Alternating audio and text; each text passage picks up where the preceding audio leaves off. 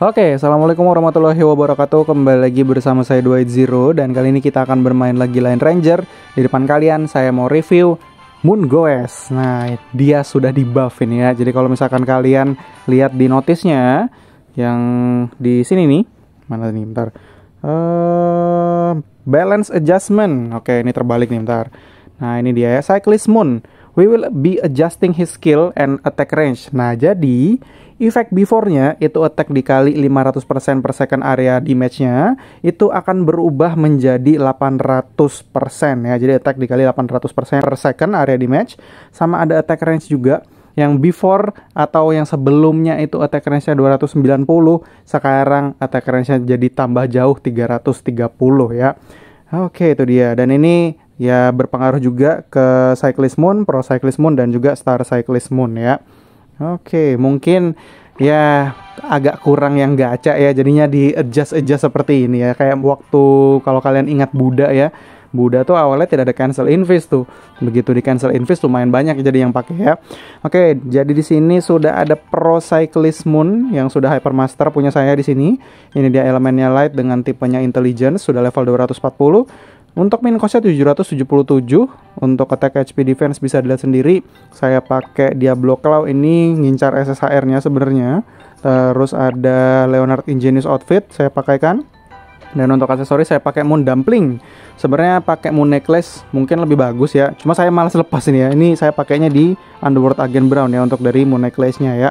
Oke ini dia untuk attack speed dia fast Movement speed dia fast skillnya Super Speed Breakthrough, di mana bisa cancel enemy invincibility skill, negate enemy region 6 detik, terus juga attack per second kali 800% area damage selama 6 detik. Nah, sudah jadi 800% sekarang ya. Dan ini bisa float enemy into the air with a bubble, itu selama 6 detik ya. Dan ada hydration juga, attack range plus 15% selama 7 detik, sama reset the skill cooldown awesome allies ya. Jadi ini resetter juga ya.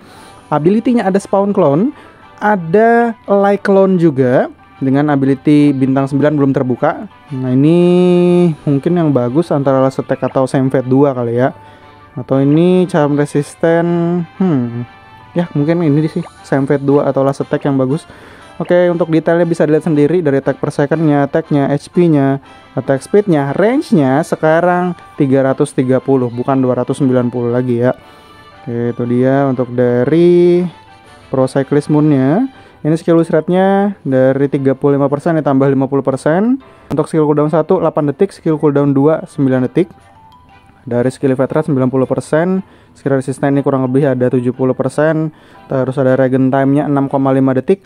Min cost itu dari 1340 jadi 777 ya. Kita ke main stage dulu.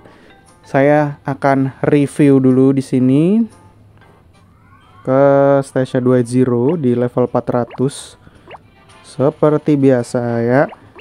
Oke langsung saja. Masih di buff juga jadi untuk dari min cost sama regen time nya masih lumayan cepat nih ya. 412 dan lumayan murah. Oke itu dia untuk buffnya. Kalian bisa lihat sendiri bubble-nya seperti apa? Oke kita lihat ya. Oh dia ada bubble-nya di belakangnya gitu ya Oke. Kalau bulan ini sih masih terpakai ya, cuma nggak tahu tuh. Nah itu sudah jadi bubble ya di atas gitu. Kayaknya jadi lebih sakit ya. Atau karena yang lalu itu saya reviewnya masih belum dinaikin ya untuk dari levelnya ya. Gitu ya. Sakit loh. Langsung mati untuk dari musuhnya ya. Oke, kita berhasil menang di level 400 waktunya kita akan coba pembuktiannya di PVP ya. Saya dapat duit sama Cobe. Coba di PVP. Di sini saya di M2. Mungkin langsung saja kita cari lawannya. Apakah ini bisa saya lawan? Ini kita gas kali ya. Ya, kita gas ya yang ini. Dengan tim satu langsung saja kita gas. Yuk. 412 min costnya. Yo. Wuh tuh dia yang sudah terangkat oleh Moon Goes. Kalian bisa lihat sendiri. Saya mau coba cari lawan yang pakai flyer nih biar nanti kalau misalkan ada yang kena bubble-nya si Moon Goes bisa kena air ambus juga ya kena knockbacknya air, air ambus ya. Oke coba kita cari dulu. Cari yang pakai flyer. Mana yang pakai flyer? Atau cari yang bisa kita lawan? Oke ini pakai flyer. Coba kita tes ya di sini ya kita gas di sini. Jadi kalian akan lihat di sini kalau kena bubble atau float itu bakal kedorong juga sama skillnya air ambus ya. Nah itu dia. Kalian bisa lihat. Tapi beberapa sudah mati juga ya. Ya itu dia kayak ada kena float-floatnya lagi. Oke, tapi belum ada yang terdorong saya lihat-lihat itu Oke, sudah dipakai beberapa itemnya. Kita cari. Oke itu dia kena float lagi. Dan dikasih blizzard oke yang belakangnya harusnya sementara masih aman karena hitnya si cendol ini nggak terlalu sakit kayak misalkan si Sony Santa ya. Saya berhasil menang lagi no item lagi kali ini. Ini saya nggak pakai RB saya loh ya karena RB saya saya belum review sebenarnya.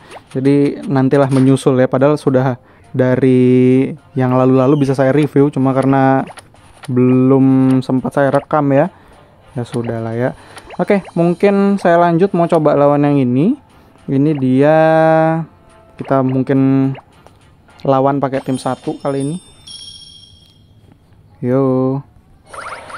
Yo kita kali dua dulu lanjut lagi cepet banget dah nyampe di di depan ya Oke, udah cepet banget nih kayaknya kalah kita nih.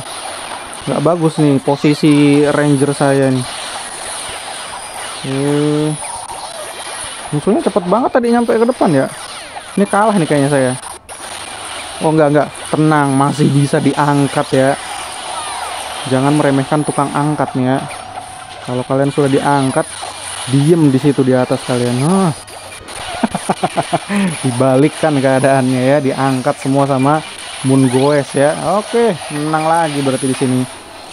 Oke berhasil menang tiga kali di sini. Oke, kita coba cari lagi. Oh satu kali lagi ya?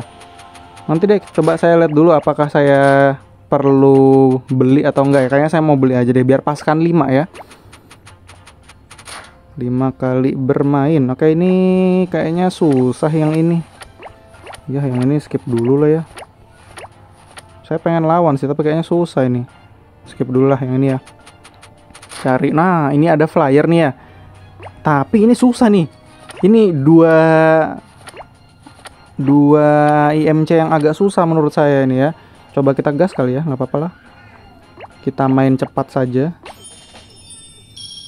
Yuk, semoga bisa terangkat juga ya sama si Moon Goes ya. Oke. Baki Oliva ngeselin loh kalau sudah late game ya. Oke. Liatin, liatin. Waduh, waduh, bisa 2%. Bisa 2%. Oke.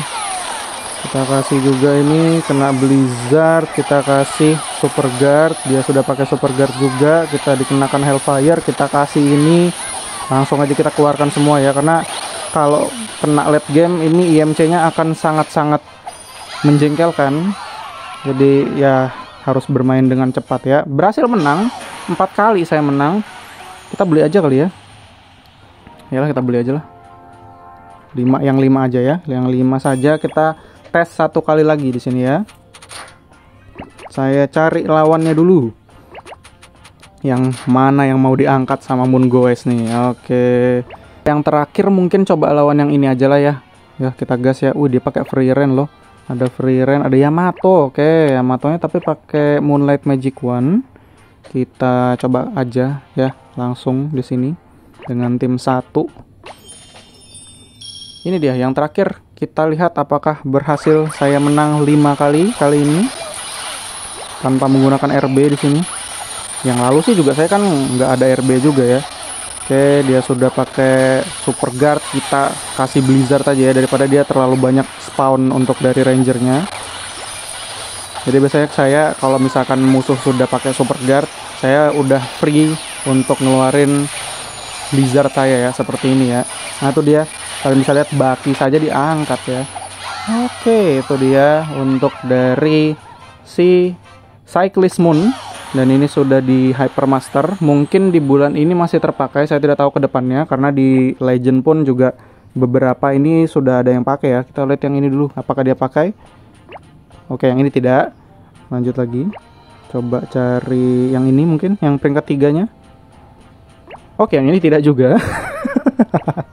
Bagaimana nih Line Ranger? Setelah di buff kenapa masih tidak ada yang pakai juga nih? Oke ini yang ini tidak pakai juga. Ntar kita coba cari yang peringkat 6 mungkin. Ada kali yang peringkat 6 pakai enggak dipakai juga.